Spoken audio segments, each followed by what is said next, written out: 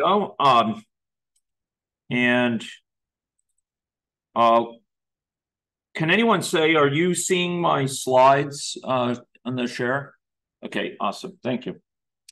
Um, in the pre-survey for this event, um, there was quite a lot of interest expressed in understanding elements of the modeling process, um, how these models come about as is a human activity and and understanding the stages of that, understanding the dependencies in that is, I think, important for anyone who aspires to be a member of a modeling team, whether as the core modeler or, or someone, you know, the person with the hands on the keyboard with the model, so to speak, or whether it's um, one of the essential uh, helpers for that model. Um, I offered my comment that it takes a village to build a good model, and um, everyone on that team will benefit from knowing something about the modeling process that's followed. And the modeling process is a is a element of human theater. It's I, I argued, you know, a short time ago that it was not the model, but the Model modeling that yields benefit. And it's really the the process of modeling that we're talking about that yields the greatest insight. It's the the teams coming together around a model, discussing what's known, what's not known, hearing different opinions on it, and using the model as a tool for communication. And that's one of the more interesting things that's come up about modeling is, is, is how effectively they stimulate communication. I'll come back to that. But a key point here is that often we are shaping not just the mental model of one person, but um, the, the thinking across the team is a clear, uh, clear deliverable. Really, that should say mental models or, or team understanding. And I've kind of put out this, this segmented view of modeling, recognizing that it is it's, it's very imperfect representation.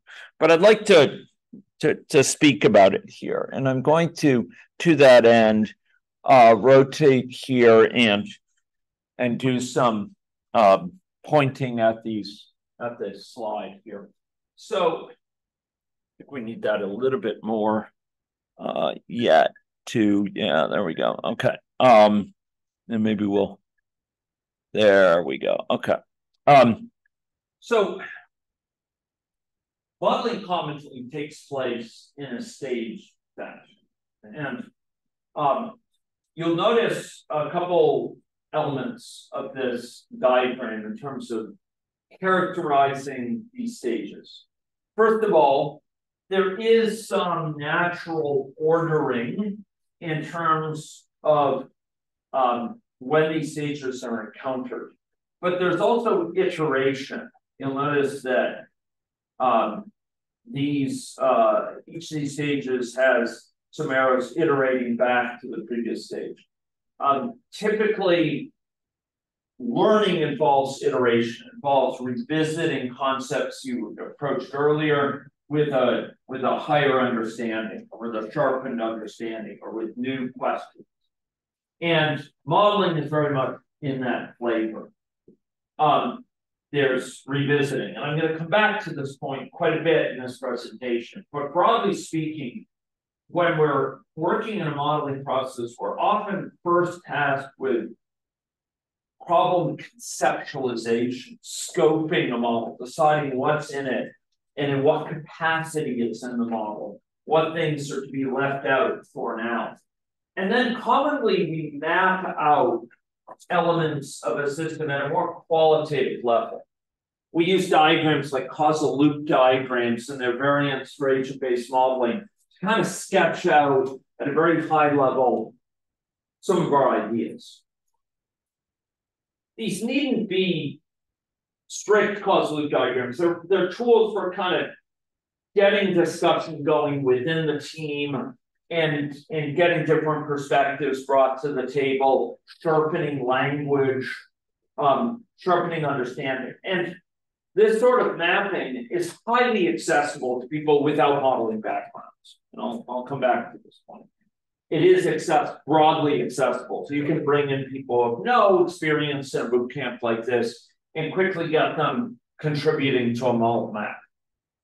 Um, within the health system, uh, there are things like value stream mapping that are already done, which um, has elements of this related to this. Um, and uh, Yuan Tian, my student who um, uh, who has played a big role in provincial um, planning, both for the ED Waits and Patient Flow Initiative, the Connected Care Initiative, and the um, uh, in cross-functional planning, and more recently with COVID-19, has done some interesting work on the relationship between more traditional diagrams in health and healthcare and models.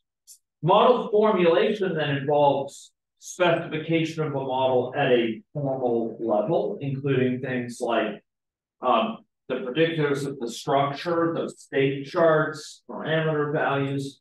And then there's a step um, that a lot of models go through, not all, but a lot of calibration. And here we're aligning the model to data observed in the world. We're kind of a whole lecture on that. Um, model testing and sort of evaluation and refinement, and then often using it for important what if questions. And often uh, there's knowledge translation efforts and dissemination um, sort of at these uh, later stages particularly. So we have a, a segmented process, and I've, I've given under each of these in a kind of aesthetically offensive way um, a description of many of the issues that come up in a given stage. Okay. Um, so we're going to be talking about this elements of this process and hitting a few really big points. Um, so here, um, I want to I want to talk about the first couple of stages of that process we've just seen. Uh, these ones really that go through here. And I want to distinguish something that a lot of people get confused about with agent based modeling. One of the most common things I hear from someone who wants to do agent based modeling, I say, I want to do this, but I don't know programming. Um, I don't I don't have a programming background. Or they ask me, like, where can I hire a programmer? I want to build an agent-based model. Where can I hire a programmer? And I need to distinguish something, or three things in people's minds. And this might be a bit of a slippery distinction, but I'm going to try to convey it to you. Because people who want to get started in agent-based modeling need to distinguish the challenges at three different levels. In my view, one of the arguably the most important challenge when it comes to modeling is model conceptualization. Here you're deciding the scope of the model, what's in, what's out, in what capacity it's in. Is it produced by the model? Is it simply put in as an assumption, etc. And this is foundational. It's like laying the foundation. It's like architecting what you're going to be doing. Now, in order to then transition to model formulation, now you're talking about sort of the structure of the state charts, or what's captured as a state chart, what's captured with stocks and flows, what's captured with discrete event simulation constructs, how to how to describe the design. And often what we're reasoning about here is some elements of mathematical understanding. Um, we're designing a model. And the question uh, at these two levels is really, am I building the right model? You then go and you implement the models. You seek to put the model into place. Um, you seek to enact it by, by fully realizing it. And this is where programming comes in. Um, and traditionally, uh, it's required programming, Java for AnyLogic, NetLogo as its own language for NetLogo, um, uh, Repast as Java as well, Swarm as C++, all these different frameworks of different languages. but it requires some computer programming. This is not the deep thing um, about the model. This is a matter of implementing it. Um, and it does require formal specification, like actual specification of the model, unambiguous specification. Um, and right now, the way in which that's done is computer programming. My group is working to change that. I'm hoping within five or so years, we're going to enormously reduce the amount of traditional programming required for agent-based model. And we know how we're going to do it. But that isn't quite available yet. And this model implementation for a lot of people is barrier because they say, I mean, I have to learn Java or I have to learn C++. And understandably, that's awkward. But this is often the, the trickier thing, um, particularly the first of these, model conceptualization. Um, and if you hire, so several times in my life, I've heard people starting out a modeling project say, should I hire a programmer? A programmer will know computer programming. They will know, they will know jack about this sort of stuff. They'll know nothing. I, I'm tempted to use stronger terms, but I, I shouldn't, especially on camera. Um, but like a programmer won't know anything about the about how to formulate a model because programmers are not taught typically to be modelers. They're taught to to create apps and create web apps, you know, apps on phones and web apps, and you know, uh, do uh, programming in JavaScript and TypeScript or or implement something in Node.js. They don't know anything about modeling the world. So just be aware there is programming involved right now in agent-based modeling and too much as far as I'm concerned, unnecessarily too much by, by a significant amount.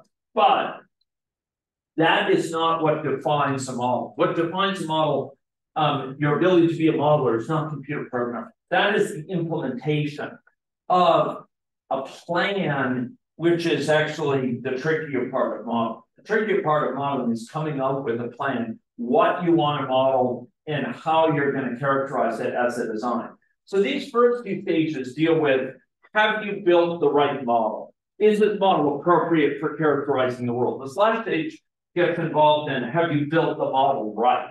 Have you actually implemented correctly, or did you do something silly like put a times instead of a plus?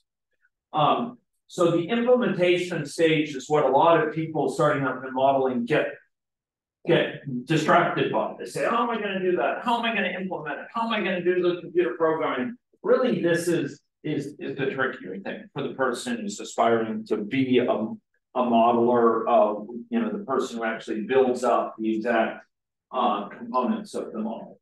Um, so be aware that all of these needs play a role, and the first two are really more about and this is, involves a lot of domain judgment about the world and about how the system under study works. It brings in experts, and then there's some sort of math and probability statistics, sort of uh, um, stochastic systems, um, uh, etc. Um, so just be aware for, for those setting out modeling, it's not just a, a problem of programming. And if you hire a programmer, they'll have no idea how to do these things. They'll be hopeless. Um, okay, let's talk about these stages. Okay. Um, any questions about that? What I just said, by the way, there before I go on. Any questions about this or that previous slide before I dive into some of those stages? Things people want to ask?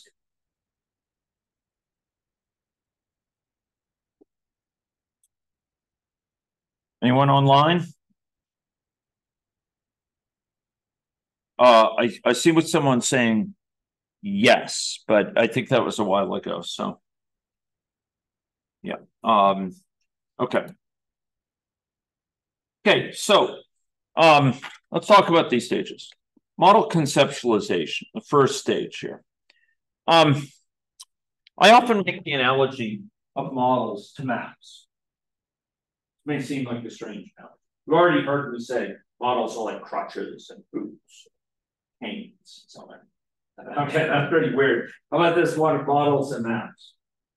How is a model like a map? Well, a model, uh, you know, we, when we set to go about around the world, let's say traverse the city, we often depend on maps. And a key point of reflection is um, that maps are useful um, in helping us get around the city by abstracting away from a lot of details. Um, we we get the essential features of the city that we want to navigate. But more than that, they they help us um, for the task at hand. So if we're trying to bike across a, a, a city, if we're trying to bike across Vancouver, we'll use a different map than if we're trying to take the transit across Vancouver. We'll take a different map if we're trying to walk across Vancouver. We'll take a different map than if we're trying to drive across Vancouver. Um, and if we're trying to figure out why flooding is occurring in certain areas of, of Vancouver or brownouts with the electrical system, we'll use different maps. Yeah. So maps um, are specific to purpose. They leave out all sorts of detail and allow us to focus on the essential detail needed to take the transit, for example, right? They leave out all the network of streets and you know where the which streets are one way and where the stop signs are and you know where the crosswalks are um, to allow us to take the transit. Just focus on transit maps. But if we're biking they'll leave out a lot of the transit details and, and allow us to focus on the focus on the bike paths. So models represent abstractions of the world. Um, it's really this ability to omit details about a certain of a, of outside of a certain um, sphere that makes models and maps useful.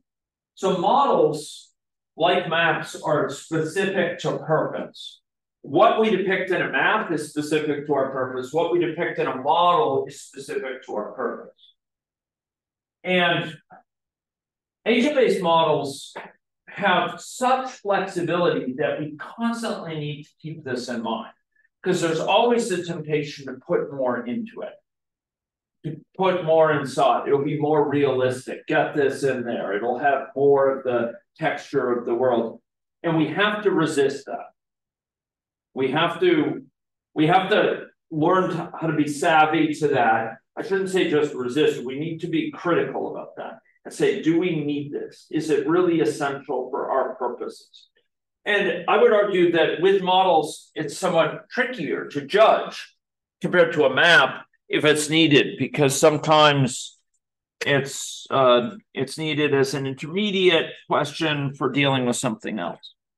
So John Sterman argues that model purpose, the ability for a model focus in on a certain purpose, is what allows simplification. And I, I articulated that. But it, he argues that it's it's like a logical knife. You cut away unnecessary complexity um, from a model. Um, most people here would have heard the eminent statistician George Box's comments about models all models are wrong, but some are useful. And I've always had a, a, little bit of mixed feelings about that, but you could say that about maps, right? All maps are wrong in the sense that they don't depict a perfect depiction of the world. The only perfect map of the world is the world um, itself. And in that sense, all maps are wrong but some are useful. All models are wrong, some are useful, yeah. Um, maybe that's a useful um, uh, useful uh, statement. Um, but it's good to reflect that we're not aiming that, that um, having more in a model does not mean it's better.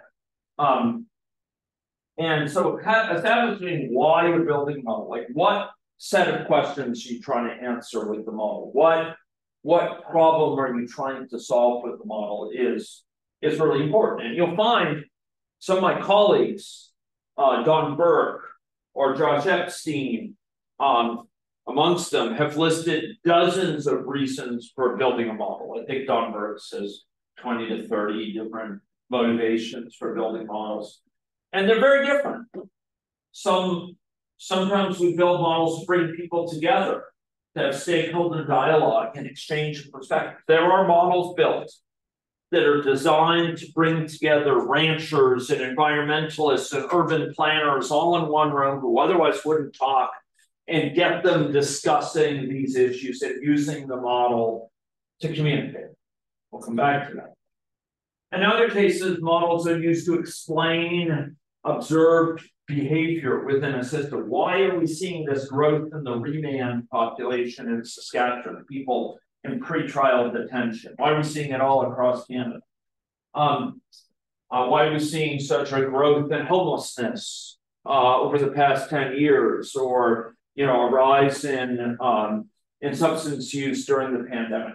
In other cases, we're interested in qualitatively evaluating different policy options or ways of arranging a system so that it can be more stable or more effective you know, uh, designing a system that will be more equitable or less wasteful, etc.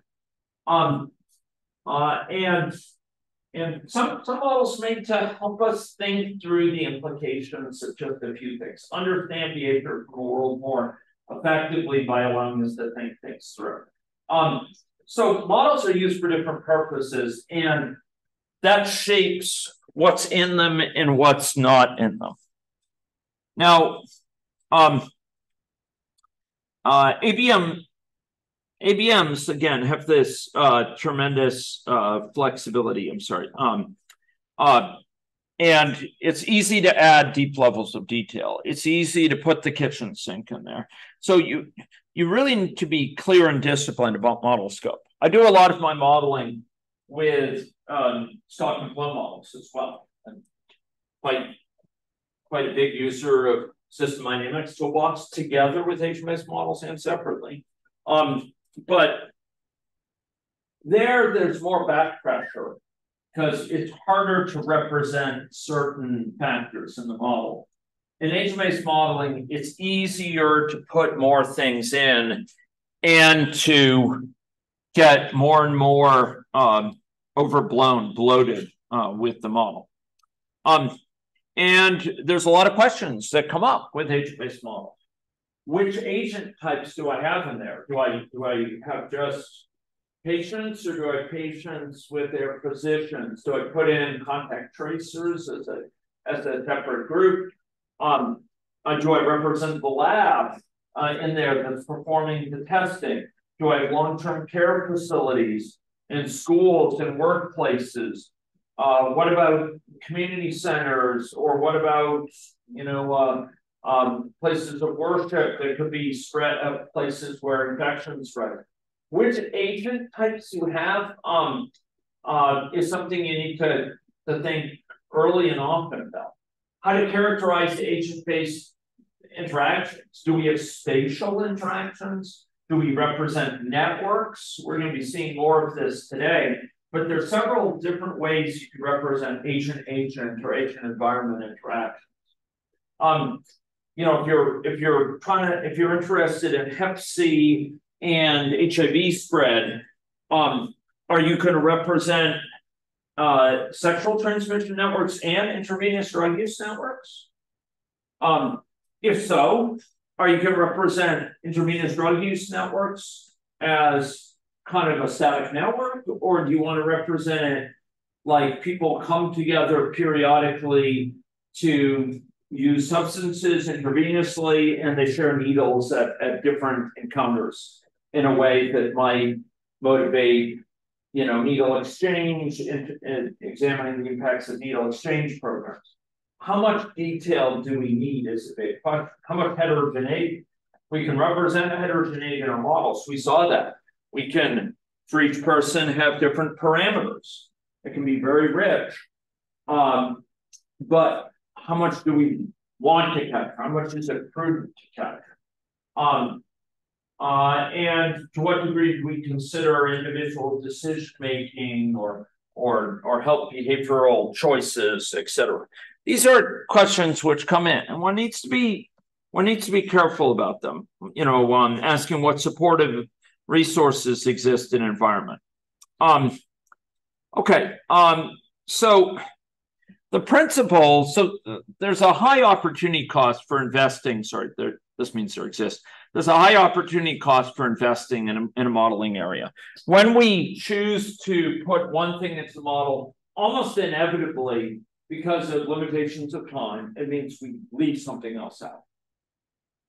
It's, it's almost inevitable. Say, okay, we'll put in dynamic networks for intravenous drug use. We're going to actually have people coming together and using substances intravenously in the model. We'll have, you know, um, some representation of that, and we'll seek to use that to reason about um, the impacts of needle exchange programs. Great, sounds good. We'll we'll get some benefit out of that probably for looking at certain types of, of interventions. Good. Um, but what are we going to leave out as a result of that? It's not so clear. And and often our attention goes to what we're getting in, and we're oblivious to the fact that we're making choices about A being in and B being left out all too often. Um, so we, we, it behooves us to be very judicious. Um, and we have to wield these logical knives of model purpose. And the basic principle that I'd like to apply here is the YAGNI principle from software development. You ain't going to need it. And that may sound cynical, but the idea is start simple and add as you go and as you get more and more insight. Don't try to build a huge model up front. Try to start extremely austere, extremely simple, add things in bit by bit and learn along the way. And that, that's a key point because learning comes from the modeling that will shape what you do next. So I'm a big believer in agile modeling, incremental modeling. The idea here is you build up a model in a step-by-step pattern. You, you deliver value, value all through, and you deliver learning all through that informs the next choice about what you add.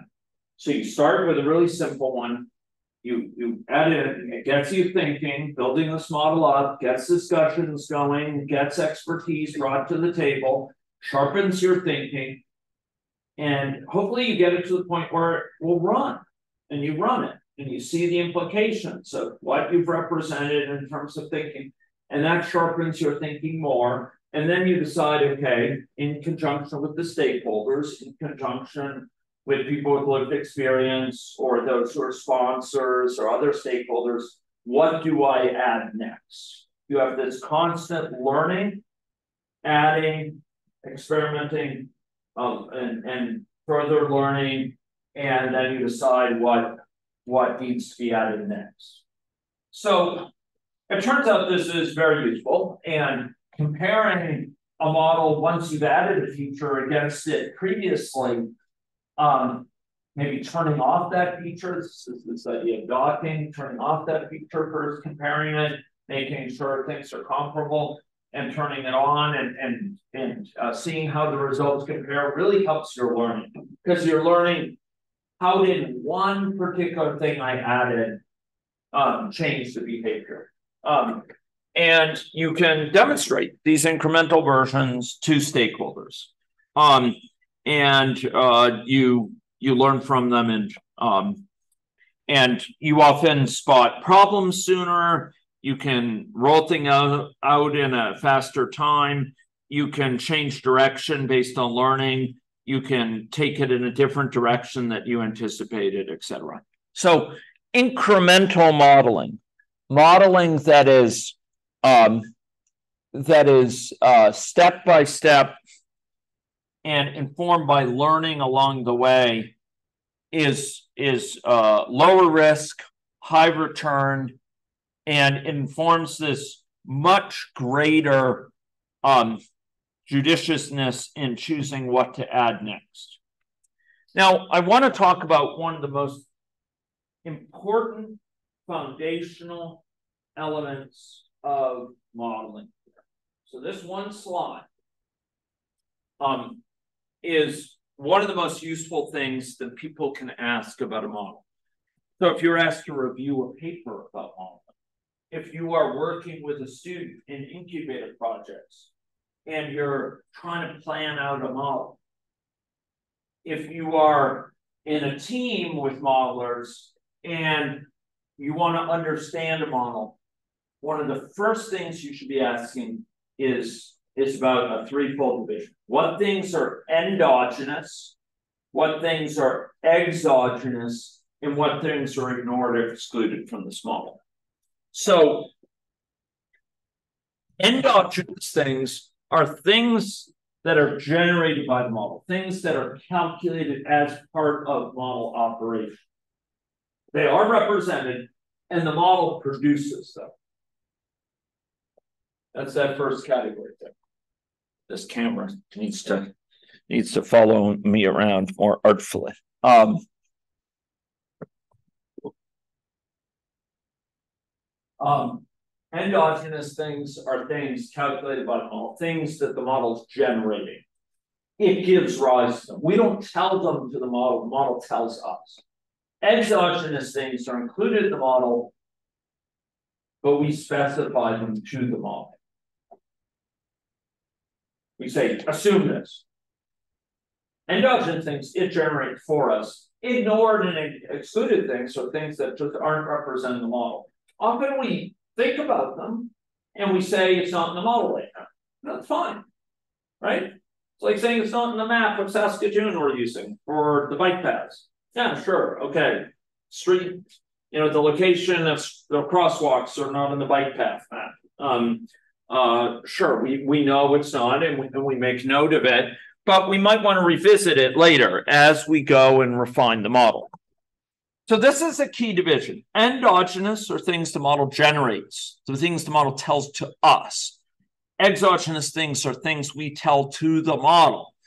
They're representing exogenously. They're not generated by the model. They're told to the model. They are represented in the model, but they're told to it in a fixed, often a fixed way, a pre-specified way. And then there's these ignored things. So I'm going to have a little discussion of this for this model. So ladies and gentlemen, here we have uh, this model, which we ran. It was our first model uh, that we ran yesterday. You remember it very well. It had the waves of infection. We had susceptible, infected, recovered people, and so on. So, can anyone tell me here what things are endogenous? What things are, uh, give me a few things that are endogenous. What are some things that are generated by this model? Anyone? What things are produced by this model, generated by it over time? Sorry? Yeah, the number of susceptible people, right? Absolutely. That's generated by we we we of course at the very start of the model we say how many people start susceptible, which is basically everyone except one person. Um, but after that, the number that are susceptible is driven by the model. It's driven by this infection spread in the model, right? What's another thing that's endogenous in here that's generated by the model? Number of infectious people, number of recovered people. Good. How about so? So those are some good ones. I like those very, very much. But what are some other things that are determined by the model as part of its operation, part of running it? that are determined by the model? What are some other things? Speed of infection. Yeah, like so for a given person in what state they are. So this person up here in the corner, what state they're in right now, that's generated by the model. We're not telling it at this time make this person in this state, that time make that's what's part of its running, right? Is that. So I like that. How about how about something else? Anyone? Well, there's all sorts of things we can say. You know, how many people are getting infected within a given day, right? On a given time period, or or recovered in that day, right? Um, uh, what fraction of the population is infected right now, right? Um, uh, those those things are generated by the model, right? Um, these things up here that we're displaying, these are generated by the model, right? They're produced by it. We didn't tell it, make this kink in this curve. You know, that was the, that was generated, came out of the model, right? That's why we run these models. They they they help us understand the emergent behavior that is logically implied by the theory captured in the model. They enact that theory and, and generate this. What things here are exogenous? They're things told to the model, but we don't. Uh, but it's not generated by the model. We've told it to the model. Can anyone come up with some of those? I'm I'm I'm giving you a bit of a cheat sheet here. I'm giving you a bit of a crib sheet because there's a bunch listed. Sorry? Yes, these provided input parameters. So the average illness duration, the contact rate, the infection probability, um, the duration of immunity. Those are all exogenous quantities. Are they in the model? Are they represented in the model? Yeah, they represent the model. Um, impact the model, but not necessarily in product with the model. exactly. They, they're impacting the model, but they're not given rise to by the model. Now, um, let me ask this. As a model evolved, could you imagine this model evolving so that, say, the um, average illness duration was not endogenous, it's not exogenous, but endogenous. Could you imagine a model? Is it possible to imagine a model where the time until recovery is endogenous? Have we seen such a model? Have we seen another model where a person's time to recovery is endogenously generated by the model? And if so, what model did we see that had that? The Number of clinics. The number, yes, the one with the clinics. That's exactly right. So, so we'll go and pull that up. This one has a very different division, doesn't it? Um, uh, or, or it has somewhat of a different division. So I'm going to go call it up, the one with the multiple clinics. Why do we say that the time until recovery here a time until a person recovers and goes back to the um, uh, you know so gets over their infection is endogenously generated why do i say that anyone because it depends on this depends on what? Them receiving a message well basically it depends on them going to a clinic. Uh, uh, depends on them going to a clinic. Remember, they had to when they were here, they they would go to the clinic, and by going to the clinic, they would get in line, and how long it took them to get through here, and whether they even got treated before they before they left um, would depend on how long they were waiting. Remember that? Here, time until recovery was endogenous. Hmm? It's a different division. And that made a huge difference here. Remember that? It, it sort of coupled service delivery, health service delivery, delivery of care to public health in a huge way, right? Um, if service delivery is overloaded, then public health will suffer because people won't be treated quickly, they'll spread the infection, and that will lead to more people needing care, and the vicious cycle continues. Incidentally, a th- this was inspired at a high level by an article about STI services in the UK, which exactly documented this phenomena of um, a vicious cycle between long wait times and spread of infection for STI. Um, in case you're wondering where, where sort of I got the idea. There's a there's a wonderful paper in by White and Garnett uh, from the 1990s, I think. Um, in any case, maybe it was early 2000, it was 2000. Anyway, um, the point is here, time until recovery is endogenous. Hmm? It's generated by the model. And often as the model goes on, we start to ask, you know, hmm, we've treated maybe initiation of smoking as fixed. Maybe we've treated it as you know, age specific, some number, some probability per year of age that a kid starts smoking. And we say this for males and this for females. Maybe, maybe we post that on a wall. But then. Maybe over time, we start to say. Um, you know, we'd really like to understand that as a. As an endogenous quantity as governed by. Social media messaging, maybe we're dealing with vaping, right? And we, we want to take into account the adverse promotion of. Juul and other, you know, vaping products online, or we want to take into account peer pressure effects and kids. Patterns of use in schools, And so we start to think, maybe we want it endogenous in our model. There's a. There's this ongoing evolution of model scope amongst these three categories. But at any one time, it's often very useful to be clear about what are these categories for your model. If you go and you read a paper, you're asked, you, you encounter this paper about, you know, um, uh, modeling for dementia and, and you read about this model for dementia, you might want to sit down and say, okay, help gather your thoughts about this model. What's endogenous? What's generated by the model? What's assumed fixed? For example, is the risk of developing dementia at a given age assumed fixed?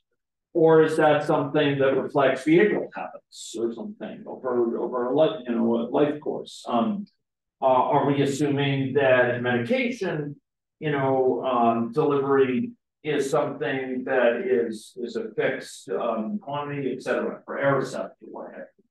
Um, so it's useful to make these divisions. Okay, um, endogenous, exogenous, ignored. If you remember one thing from this lecture, this is, you know, a good candidate for being uh, the most valuable thing. Also important is this idea of incremental model development. Um, so why why would we include a component in our model? Um, well, it's it's really interesting. As a modeler, there's there's an art and science to modeling, and uh, there's this um, there's this skill that builds up by practice of this again again like like any skill like a musical skill or artistic skill. Um, you develop the chinese would call it kung fu. You develop this kind of know-how. You just have this understanding of okay to make this a viable model we need this and uh, many of the students in the room are developing this kung fu they're, they're developing this skill how to do this effectively but it takes time and it takes years to develop this skill Wade has some book. Um, what what he touches, he has this. Um, and uh, and when I have thought to try to trans to try to transmit this skill, to try to convey this skill, there's a couple things that I think of when I when I am considering what needs to be in a model to be effective. I go through a couple lists um, in my mind and I've tried to get. Um, there's some wiggle room here, and and the first of them I'm especially you have to be especially careful about. But is it such an essential mechanism that that capture the essential dynamics? You need it. Um, you you need it in the model. You you want to capture spread of HIV in Saskatchewan you need to represent IDU transmission because it's the dominant behavior that drives it. If you want to have any reasonable accounting for HIV in Saskatchewan, you have to think about um, uh, intravenous drug use transmission. Um, or look, a lot of the time the question is, do you want to capture a certain intervention? Maybe your interest is in capturing the effects of the Saskatchewan government covering Hep C medication for um, for individuals, and you want to capture that fact. If so, you need to, if, if you're trying to understand how an intervention covering the cost of, of Hep C intervention, of Hep C medication um, availability on, on um, the health of the population, uh, you want to have a model of that. you're gonna need to represent something about how hep C medication affects people's hep C status. And thereby affects their health, right? You, you need it to capture the effect of the intervention in which you're interested. Um, in other cases, maybe an intervention will affect things, maybe, maybe it's not to capture the effect of the intervention directly, but maybe you're concerned about how uh, an intervention will affect the disparity between high SES and low SES groups. Maybe it's a healthy eating intervention, and you're concerned it will widen the gap with higher income individuals having ready access to healthier foods and lower income individuals um, losing out that access. Um, so you're interested in, in capturing these disparities, maybe then you, you want to represent them in the model. Um, uh, that's that's kind of uh, uh, this one here, but there may be cases where an intervention ends up um, affecting a certain outcome, maybe it's deaths, or maybe it's cases of transmission of HIV, or maybe it's uh, uh, costs imposed on uh, for uh, HAART therapy, highly uh, active antiretroviral therapy. Or if you're dealing with a case where um, you you have some data from the world and you want to compare it against the model because you want to you want to test is the model reproducing data from the world, then you need something in the model that can be compared as what you see in the world, the observables you see in the world. You have empirical data, great. You want to use that to test the model? Great. We need something in the model that can be compared against it. So the model needs to generate that thing. Maybe the model needs to generate the number of individuals who complain of food insecurity in the downtown core of Saskatoon. So it needs some um, representation of food insecurity and people's, you know, indication um, uh, the criteria that might be used to decide whether they're food insecure. And finally, um, this issue of stakeholder credibility. Wade, Wade mentioned it yesterday in his presentation. Um, uh, at a couple of points. The point is that um, there are times where for stakeholders to buy into a model, you need to speak with them um, in their condition at the point they, they currently are. You need to give them something that they will recognize, understand, be confident about. And uh, one of the things that plays a role here is GIS.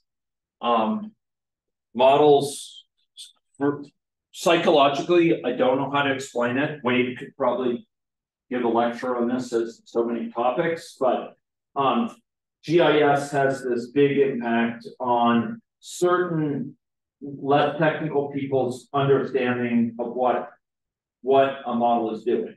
Just seeing it visually can have a, a psychological impact. There are other things too that can have, have an impact on stakeholder credibility. Speaking to them about stories, um, stories at an individual level or stories at a collective level can be really important. Um, Okay, uh, I think um, I think I'm going to go light on some of these slides, but I, I want to talk about a distinction. This is really important if you get into the modeling space. Um, not all models are the same. I, I you heard me say it a few minutes ago. Models have different purposes. And sometimes purposes are very different from models. I told you some models are used to gather people together. The purpose of the model is to bring people together. It's not it's not that you're using it for policy to assess policy trade-offs. Is you just want to get people together, have a conversation that they otherwise wouldn't have, and share their perspectives on it. There's papers written about this, very successful uses of this model in that regard. But one of the most important distinctions within this modeling space is between stylized models on the one hand and models that, as my colleague Ross Hammond likes to say, are used for theory explication. He, he tends to use the term theory building models and theory explication models. there are some models that are used for sharpening our thinking, building theory, building understanding. It's not that they're depicting, you know, the the situation with uh, uh, with uh, segregation in downtown Detroit, or that they are capturing, you know, patterns of disparity on unreserved populations in northern Saskatchewan with respect to um, uh, to health outcomes. They're really designed to get us thinking about the implications of just a few processes interacting. My Carl, my colleague Carl Simon of uh, uh, of uh, University of Michigan, who I um, who, who retired some years back, um, uh, speaks about these as caricature models.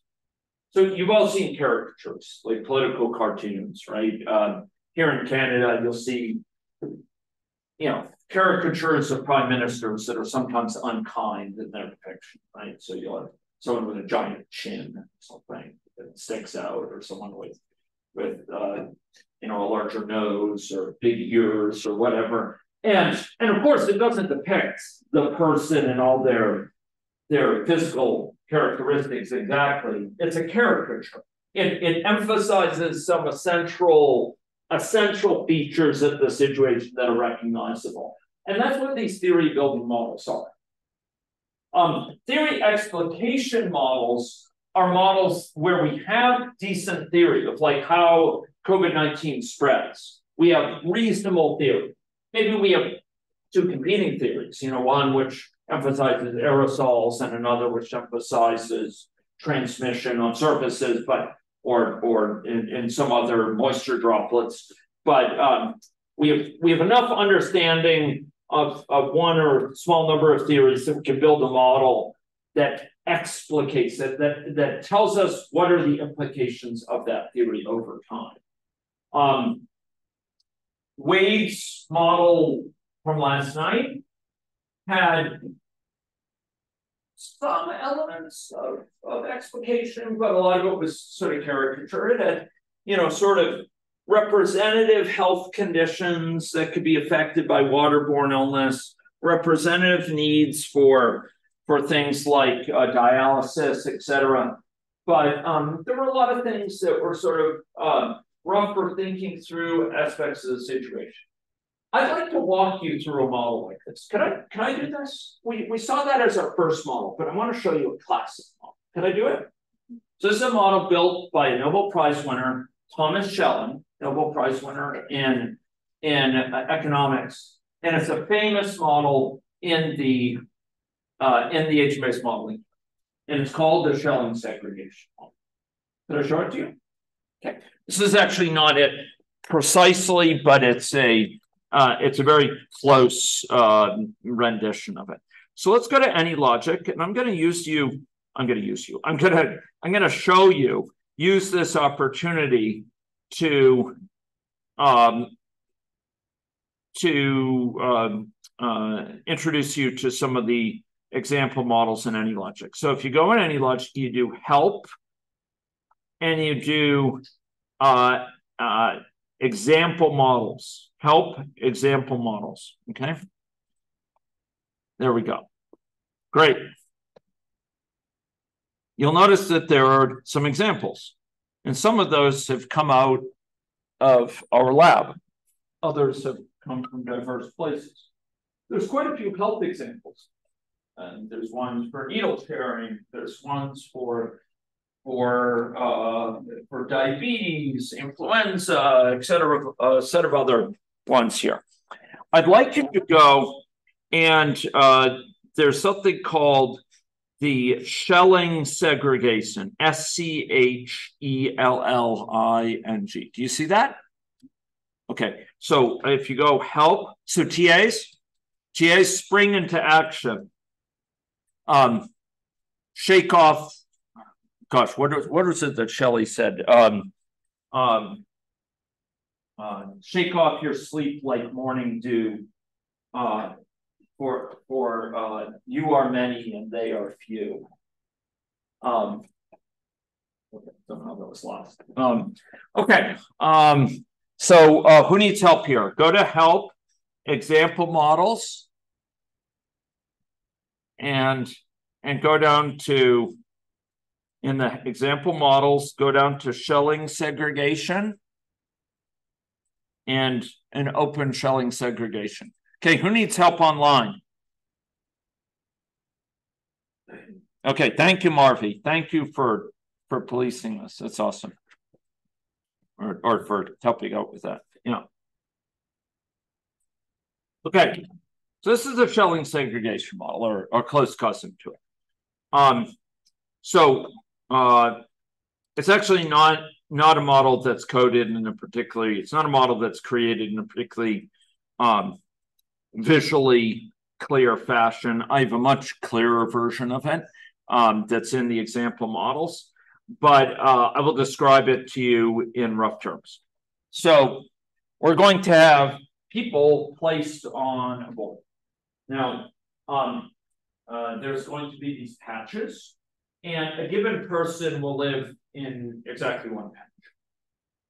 Um, people come in two types for this model. They're dichotomous in their characteristics. One is black, one is red. And um, they move. They can move over time um, among patches, amongst different patches. So at a given time, they're in a specific patch. The state of the model has given each person a particular patch, but over time, they can move to a new patch. Okay. Um, now, maybe you're wondering about the name. The deal is that the model examines the implications if people have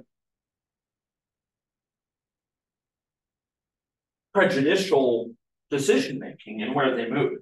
If they have preferences based on the color of people around them, maybe they're red, and suppose most of the people around them are not red, they're black color.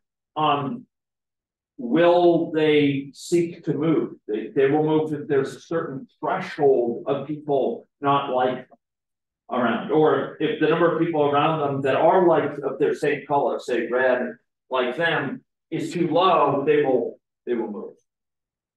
And I'm, I'm glossing over some details, move here with a certain probability, time step. This is a model in what's called discrete time. Okay. Now, at any one time, there's a certain number of these squares that are empty, and people can move to an empty square. And this bar up at the top will tell us how strong their preferences are. Okay. So I'd like to run this.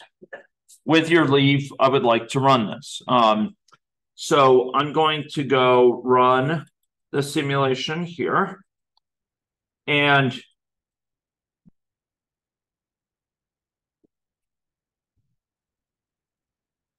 we will press the run button. Okay.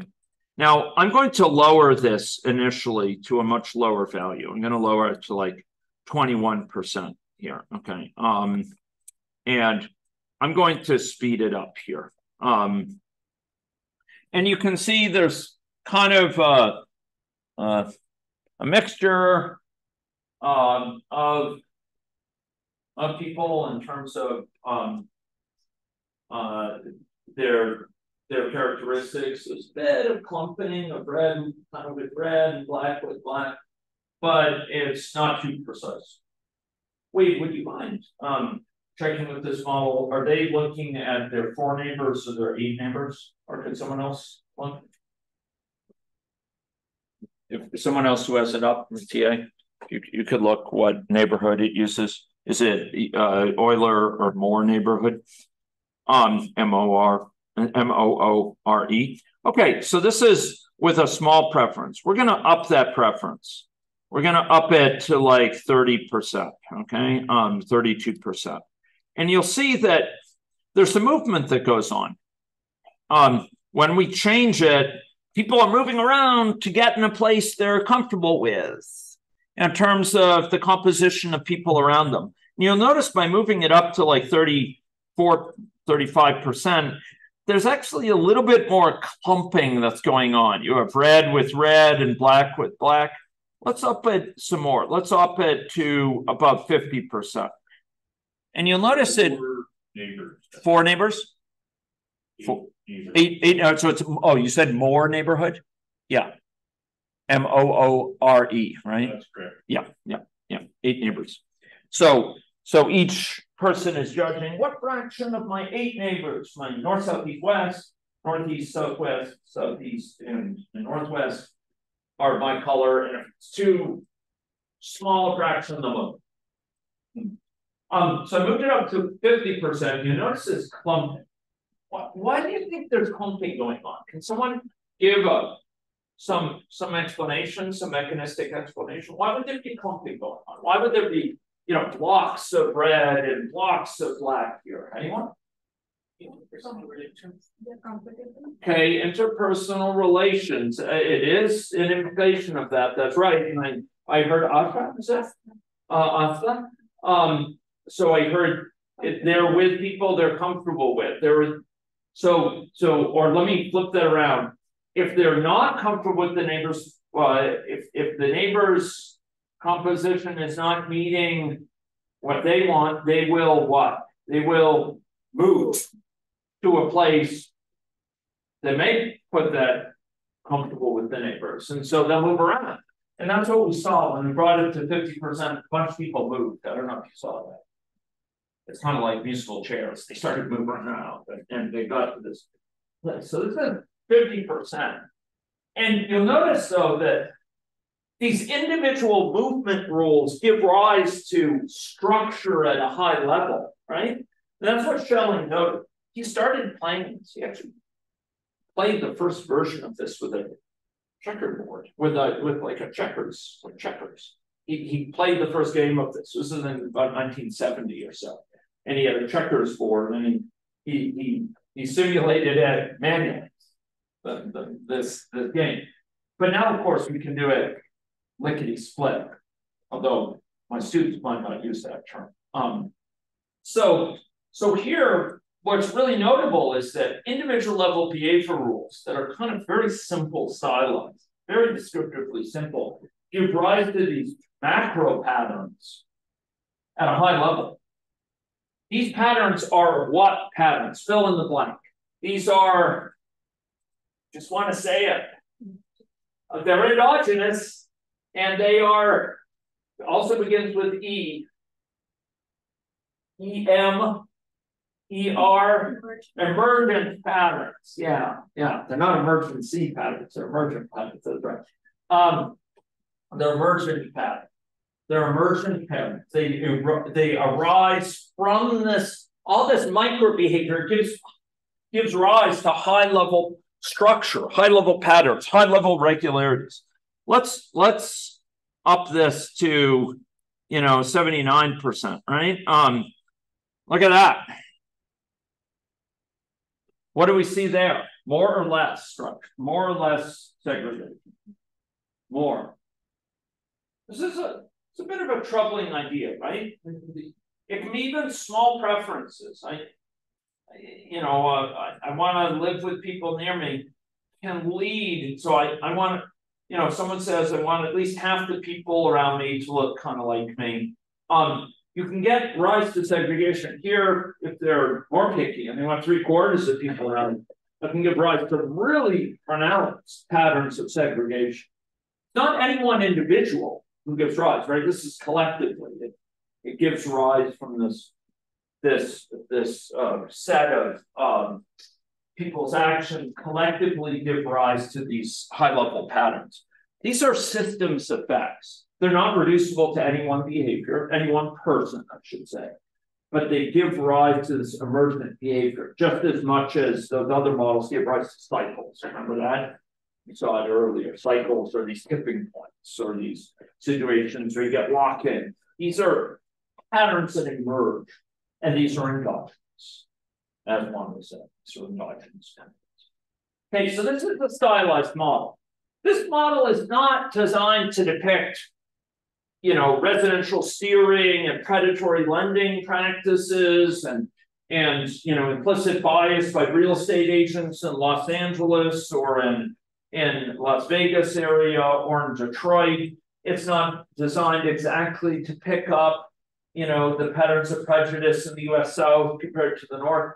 Not at all. It's it's a thought piece model, right? It's a very, very simple model. The idea is people use, you know, two different types, and they use the type um, they, they judge what fraction of the people around them look like them, and if it's too low, then it's about as basic as it can get as a theory, a descriptive theory, but it gives rise to behavior that's very thought provoking.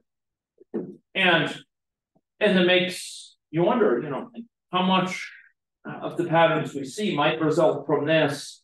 Um, in addition to you know bank uh, bank um, you know bank prejudice uh, or prejudicial lending, etc. Um, so this is an example of a stylized model, ladies and gentlemen, and quite a famous one. The Schelling segregation model by Thomas by Nobel Prize winning economist Thomas Schelling. Um, high level behavior results from micro behavior. Um, and I want I got to say that many published ABMs lie in both these areas. So if you use ABM modeling in one of these types and you see a model in the other type, you'll say, whoa, this is very different sort of agent-based modeling, and it's true. Um, the sort of models that are used within the SHA, much more over here.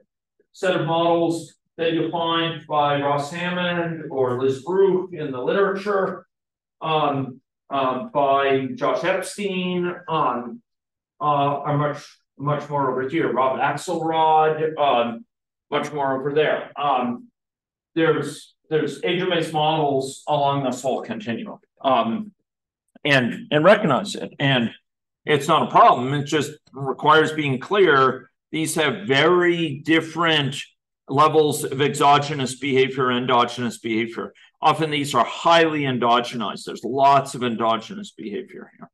Um, okay. Um, so we we we saw those. Okay, right. Um, yeah, and um, actually, uh, for those interested in going, I, I don't want to go into this. Time is precious. There's opportunity cost. But uh, Kurt Kruger, who many of you know, um, uh, when he was a grad student, did some very interesting modeling of trust. It was stylized modeling. It was modeling over here, but we did modeling of trust. We did modeling of trust in the care system.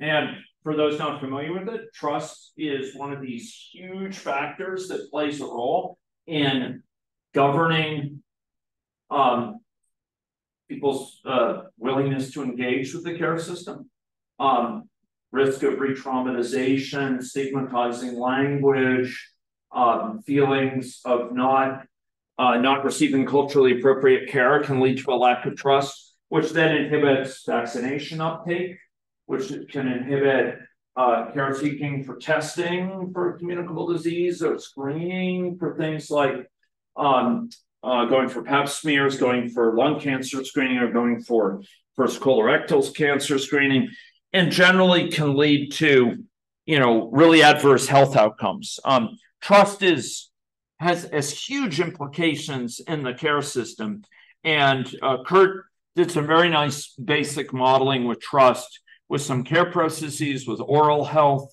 um, but also uh, with uh, more stylized models with with sort of outgroup uh, homogeneity. Um, I will.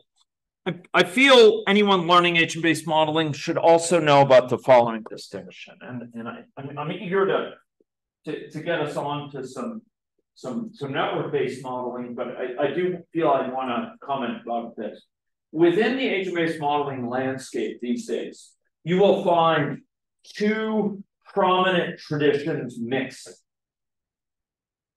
And I have good colleagues, dear colleagues on in, both communities. Um, there's the micro simulation community, which is used very widely at Statistics Canada here in Canada. It's used in many census agencies worldwide. In Australia, for example, it's quite prominent. US Census as microsimulation model for the impacts of like pension plans. Um, but here in Canada, the um, um, it's it's being used um, uh, for uh, for, for oncological simulation. these, these, um, micro simulation models tend to be minimally endogenous. Um, and what I mean by that is they, um, not only do they tend to minimize agent-agent interaction, but they tend to have statistical uh, assumptions based on observables on how people behave. And basically, what you characterize for an individual is pretty much their endogenous, or sorry, their observable characteristics. Their observable characteristics, not their underlying. Um, by contrast, um, something like the models here for the COVID-19 and, and a lot of empirically grounded modeling is also heavily endogenous. And here, you're, you're, you've got observables, but you have some underlying state which may not be observed, some latent state. Um, and a lot of ABMs for policy decision making live here, but a lot of micro simulation models live here. And these two come from different backgrounds, the microsimulation tradition from economics, the uh, uh, this one for, for heavily endogenous, more from computer science and physics, and they're kind of mixing in awkward ways. Um, most of my colleagues consider these both aspects of ABM, but they are rather different. Okay, I think I'm going to go light on the rest of, of conceptualization, but I do want to talk about one or two other things. This is really significant and profound things. Um, I want to talk about model mapping. Um, so in the model mapping landscape, um, the model mapping landscape, we are using more um, qualitative forms to bring out, okay, what, what happened there? Bring out understanding from teams. And this is this is an aspect of human theater, bringing together people from diverse backgrounds. Um, and uh, you can see some of these from Peter Hovmand, some from my own experience, but um, in all cases, bring together stakeholders to talk through uh, talk through their understanding and capture it often in causal loop diagrams or with state charts. Do you recognize those? So kind of state charts on a piece of paper, right? Um, and talk through their thinking about how the system works and like what factors are affecting things. Um, it's a very human activity. Um, and uh, we're often pursuing it in groups with people making suggestions and updates and getting discussion going.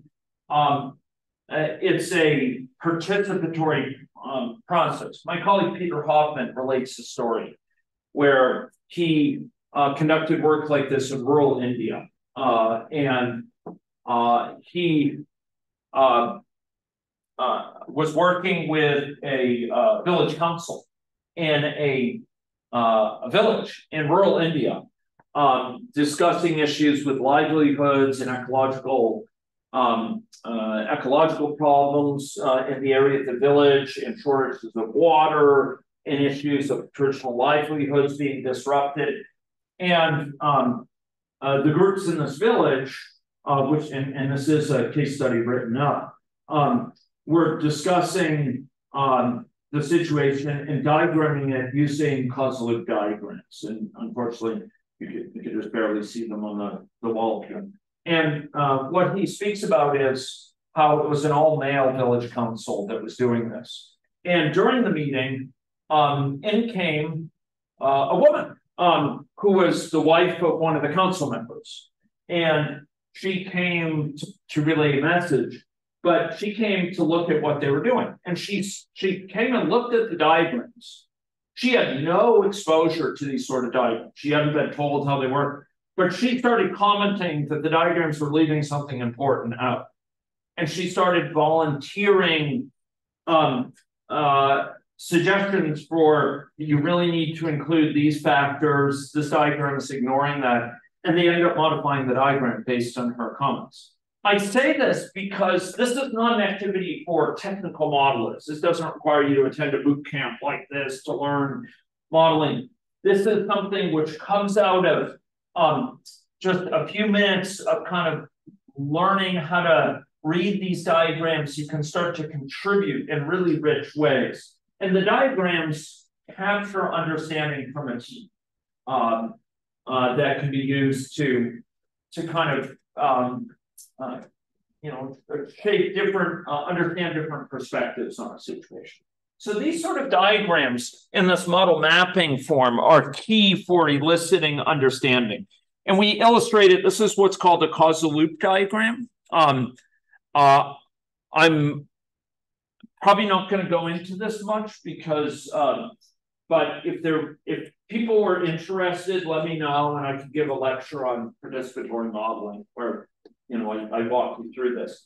But this is a what I would call a semi-qualitative um, diagram that is used to capture understanding. I say semi because there's some quantitative components.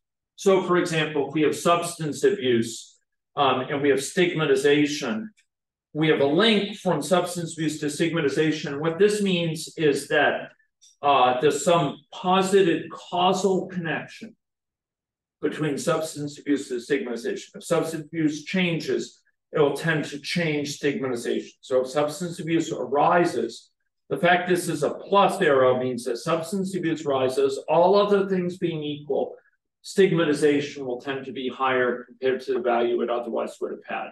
And stigmatization might then lower employability, and hence there's a minus uh, associated with that. And we create what are called causal loops here, which, which commonly include feedbacks, such as those through self-medication and, and, um, and substance use here, to capture kind of our thinking about the relationship between different factors. These sort of diagrams are often a precursor to simulation models. You build a diagram like this, often in a group setting, you elicit people's understanding, you can get some insights about this, start to reason about where leverage points are, start to reason about where key uncertainties are, etc. And then you can go build a model about pieces of it, a simulation model. These diagrams are not, to be clear, this is not a simulation model. Is it a model? I would say, yeah, it's probably a model. Some, some of my colleagues call it a model map. Yeah, I'd say it's a model of sorts. Um, it gives insights. It gives dynamic insights. You can reason about behavior. Um, positive feedbacks lead to divergent behavior. Um, they lead to instability. Um, balancing feedbacks, uh, not shown here, but balancing feedbacks lead to stability. You can reason some about behavior with these. You can gather them from groups with group model building, and then often we use them to inspire modeling, further modeling. So that's what's going on in this stage Qu qualitative problem mapping, often in a participatory or semi participatory way. And we, in our group, we've made use of diagrams kind of like this. This is one tool we made about uh, most of a decade back, uh, kind of a Google Docs like tool for building up these sort of diagrams for, for agent based modeling. Um, okay. Um, right. Um, think I'll go go light in this. I think uh, we'll stop now. I'll, I'll just say what we're doing with model formulation, building up models uh, in this boot camp, like we did yesterday, and like we're about to do with networks, falls into this model formulation stage. We're building up quantitative models that are fully specified so we can run them in ways that qualitative models aren't. Okay. Um, so we're, we're transitioning to this uh, form. Okay, I think that's all I'm going to to say on those. Um, yes, Zachary is is uh, hit emergent exactly right. Please, uh, TAs, um, if someone locally, someone in the room beyond, I know Marvy's uh, answering questions online, but if if we could have someone in the room who can relay questions or comments from the chat, because like people are saying things in the chat in answer to my questions, and I want to make sure I know about them, okay, in a timely fashion. So if you could keep track of the chat and relay things people are saying, that's really good. Okay, um, any questions about this before we take a break? And then we'll get into networks and adding networks to our models. How's that? Okay, questions though? Questions here in person? Yes, uh, I've got two uh, two questions here. So Fatima, Rasha, sorry. I'm sorry. Yeah. So, uh, it's, it's kind of general question, so. Yeah. How can we tell that, uh, a model is too complex and needs to? So this is uh a tough. A tough um call. What I would say is. Um. First of all, uh, we try to avoid it becoming too complex by um going step by step. Seeing what is needed next to answer the next questions that are coming to the fore and building it up very incrementally. And hopefully, we avoid getting too far ahead of our skis, too far over our skis in ways that lead to too big a model. So we try to avoid it. Now, how do you recognize a model that's too large? Uh, I would say a couple criteria that I would put forward. Um, if I sat down and thought about it, I might be able to come up with a few more, but I'll, I'll tell you some warning signs. Take it from an old man. Okay. Um, one sign is if you're getting lost in the model so much that it's inhibiting insight. You're, you're finding it hard to understand what, what is going on with this model because you see behavior coming out of it, but you're not sure where it's coming from, why you're seeing it, what it means. And in some cases, you're not even sure if it's a if it's a defect in the implementation or an actual behavior of the model.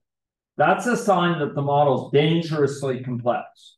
I have seen models like this from top top uh, top epidemiologists uh, in North America, where the model is so complex and so large that they have lost track of where phenomena are coming from. And, and in fact, on inspection by me and my team, we found errors in it.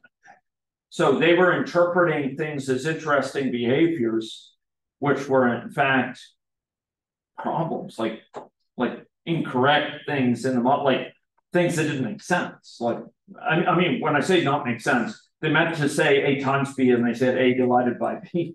And then they're saying, wow, that's really interesting behavior. Well, yeah, because it's it's like you know problematic. It's like incorrect in its specification.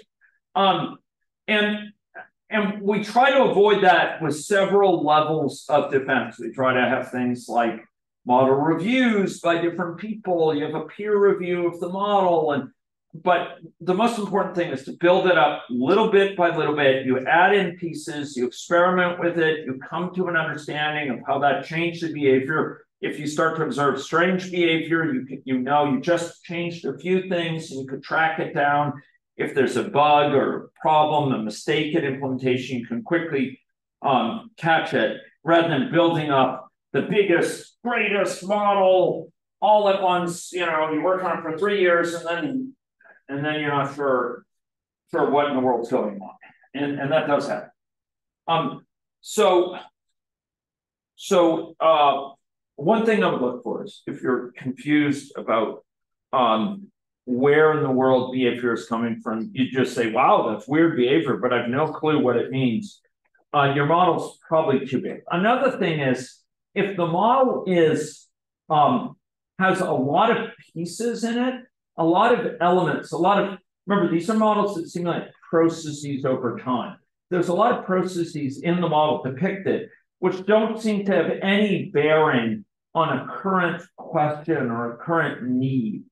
Um, it's probably a sign that it has unnecessary um, uh, structure in it that that that you need to question: Is that necessary? Now, it's a tricky thing because sometimes that structure is needed as a kind of waypoint, an intermediate point onto other elements of endogenous behavior that do relate to the things you're concerned about. But sometimes models accrete, and, and I gotta say, this is an issue with uh, with the COVID-19 model. Um, when we built that, you know, we started pre-pandemic, um, you know, vaccines were not a speck in the cosmic eye. Um, we knew that there was a possibility that there would it likely eventually be different lineages of COVID nineteen? It would probably mutate, but we were, you know, uh, two years out from where variants were a big concern. Um, uh, we didn't have dexamethasone yet, um, and uh, and uh, you know, we certainly didn't have some um, something um, uh, like remdesivir, and we didn't have um, uh, uh, the the the um, the Pfizer um, uh, not not remember anything, but the the Pfizer antiviral that's that's quite effective. Um, and but has recurrence issues. Uh, and and so we were dealing with a lot of questions early on that are no longer there. We were dealing with PPE availability, which was a central issue. We were spending a lot of time estimating um, uh, uh, counts of people that that might be needed, um, you know, needing ICU care, and uh, and there were a lot of questions for which the model was used early, which are no longer that current. Um, and uh, and so the model had a lot of structure created for that, which which is not currently needed. Um, uh, there was a time, uh, so Saba will remember this probably well. There was a time where there were large outbreaks on uh, colonies in southern Saskatchewan, um, and uh, and you know we had some structure that was created to capture colony colony interactions. These are Hutterite Mennonite colonies predominantly. Colony colony interaction colony city interaction with farmers markets and so on, and people going to the city and and and issues with uh, related to this, it, with the anticipation that that would be uh, where some interventions are needed. Um, that was a big interest for a while, for a couple months, but is now retreated. And the the models that are put into action often accumulate, they kind of accrete the structure for certain questions that then become less relevant. And one of the tricky things is if there's a lot of structure for things that are no longer relevant, you know, in the current policy context, no longer relevant in the types of questions that are being asked and the needs for comparing the model against real world results, et cetera, you might want to think about removing those and, and simplifying the model. Um, it has its own risks, but but that'll be something to to keep an eye out for. Um, uh, I um, I certainly think another thing I'd watch out for is is the model understandable by those who are working with it. If you have a model which people don't really understand what what is in there. They they've forgotten what elements are in there, what's not. That's not a good sign.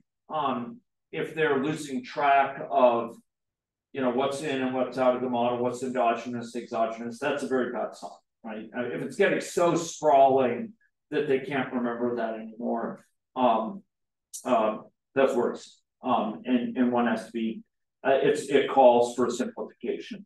Um, one thing I will say is, Rasha that that with long-term modeling projects, um, there there's a pulse of learning that goes on where sometimes you start with a small model, over time you build it, it becomes larger, but lessons are learned along the way, and then at some point you're so far along the lines of your learning, you realize based on where you are now in terms of your learning and the new policy context and the new questions that are at the table, it's time to start with a much simpler model and you boil it down.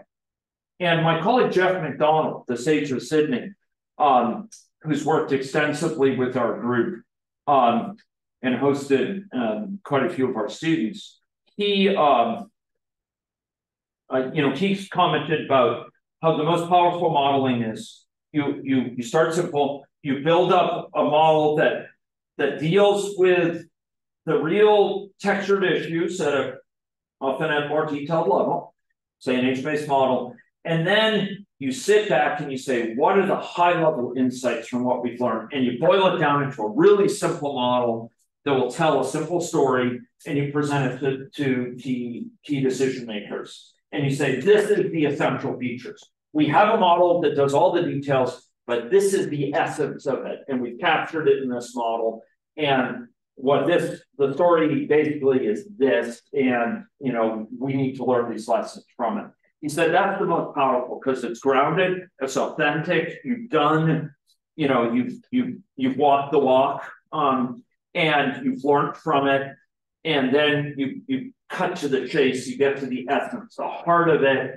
it is often a few little points, and bam, you go. I will say, um, there was uh, some a year or two pre-pandemic, we were working with Provincial the Ministry of uh, Corrections and Policing and and and social services and um, integrated justice services, um, and um, they were they were working with a group on models related to remand, um, to pre pre-trial detention, and uh, uh, there there was a lot of detailed modeling that went on uh, for this. But at one point, I boiled that modeling down to a simple stock and flow model with like flow in, flow out, um, and, and a stock. And I communicated it and it was explosive because there had been enough discussion from the more detailed modeling that the state the key stakeholders who were in the room, they just got it. And it was like, oh, of course, that's why it works. And it wasn't that the detailed model wasn't useful. Of course, it was useful. It got us there. But it was that simple model that there was the caricature that taught the key lesson that got them to sort of say, aha, I got it. You know, I basically know what the issue is. It cut through all the sort of excess stuff to for the core issue. And the stakeholder, the key stakeholder sponsor that has held that with him ever since. Because it's a simple lesson that can be illustrated with a simple model that came out of the more detailed model. And that's what Geoff does in Sydney, um, in uh, Australia. So um, I would say, you know, um, having a model that's too big, maybe time to start simple again and, and start simple. But now you're starting simple in a different place. You're starting simple with all that work, right? It's not the model, it's the modeling. Yeah. I will also tell you one final thing. Models become cumbersome over time as they grow. Um, models develop weight. Models develop inertia. They, they start to they start to just get so full of things that it's hard to modify them. It's hard to change things in them. They lose their nimbleness. They lose their nimbleness. And um, and that's a sign that it may be time to start with a new model. And uh, again, a model that's much more savvy because of where you're at. Hopefully those comments are, are helpful. Yeah. Any other questions online? Um, oh, how can we tell if a model is too complex? Yeah, so that was, uh, I think, thank you for relaying that, Harriet. Uh, so appreciate that. Any questions from people online or uh, I think Sab had his hand up too. Oh yeah, it was about, uh, you actually partly answered that one already. Okay. It's, there's policies changes and then, uh, people's behavior and sometimes also. Yeah. Uh, plans of the project changes, other stuff changes, testing in policy changes, so many things that happen. So, Yes. Uh, so that's what I was asking about, I was about asking, like, what should be our approach to that? So should we keep the one that we think we might be changing over time in an incremental step? Or uh, we just make it a part of the model and in future we need something, we create a new model? Right. I think um uh so I, I will tell you this. Um that uh if, if you have if you have a, a skilled um so so I, I've said it's not the model, it's the modeling. And modeling, good modeling takes time. It's about bringing people together. It's about drawing up knowledge of different people's knowledge of different areas of the system. The ICU folks know all about the ICU. The folks, you know, in the in the ER know about how COVID patients are handled in the ER. The folks in the on the contact tracing side can tell you about contact tracing. Folks in the lab side can tell you about how the lab cases are folks up north can tell us about how the local situation is up north and how remote testing is done with the. The uh, the remote um testing machines that are are there, right? Um, and. And that takes time. If you have a savvy core modeler or two on the modeling process who, who, who can do the, the very technical side. Often rebuilding a model or like starting a model over and building up the core mechanisms, knowing what is needed. Um, and just saying, okay, um, go, we're, we're gonna start, start with another simple model with these features in it. It's not that hard a circumstance because the data is already in hand, you know, the knowledge, the understanding, etc. And um, there's actually something attractive about that to a lot of modelers, like starting over. Am I mis misstating it, Wade? Um, No, no, I think it's fair to so, so you know, if if you took someone like Wade or Narges or or Nastaran here, um, you know, Harriet and Mattias are developing this. If you were to take them, and, you know, they have a big crufty model that's that's kind of gone a long way. It's kind of your beaten up pickup truck. It's it's taken a lot of hits, but it, it keeps on ticking. And then you say, like, oh, okay, we'll we'll now start, and this is what we want. We have the data, we have the understanding, it's all been worked out. Like actually doing the work to build up the model.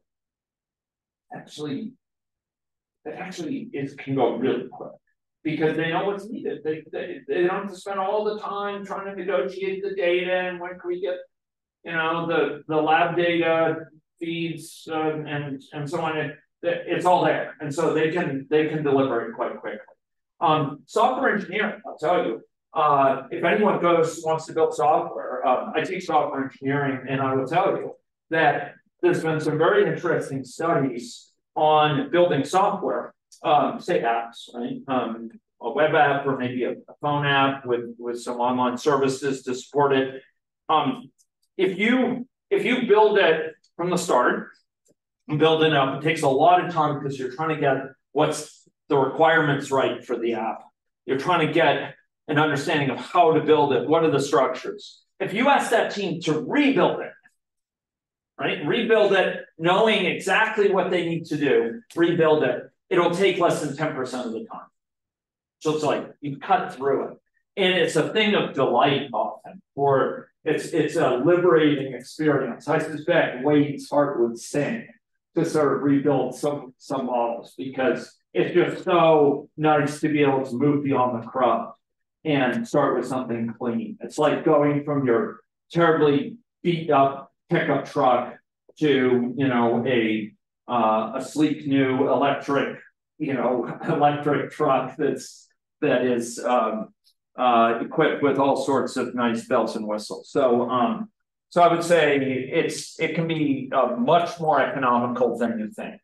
It doesn't mean replaying the whole modeling project. It's often a very uh, much smaller technical operation to do it, and often yields real benefits.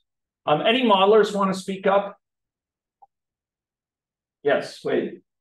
Yeah, like it, it may take ten percent of that time, but that's a non-zero amount of time. That is true. And you have to build that in.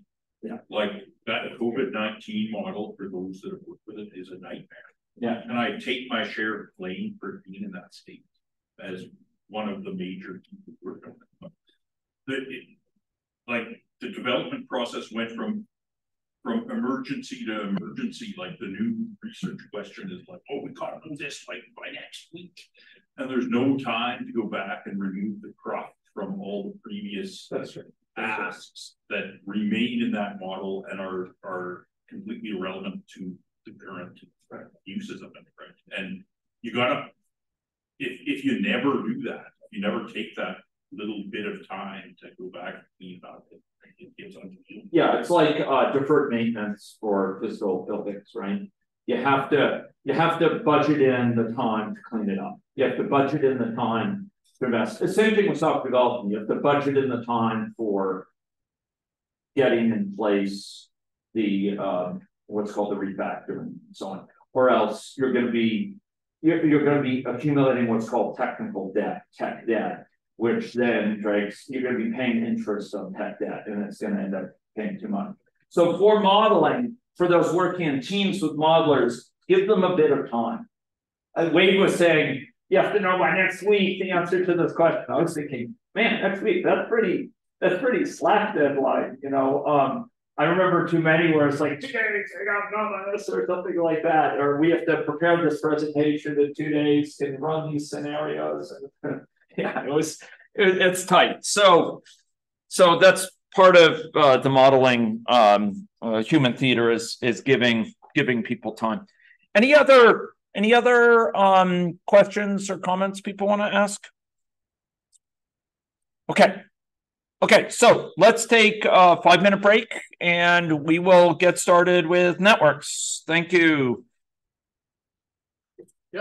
Go ahead.